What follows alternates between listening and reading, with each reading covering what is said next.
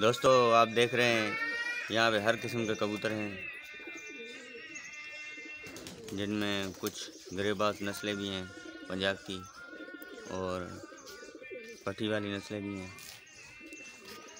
ये कबूतर देखें आप।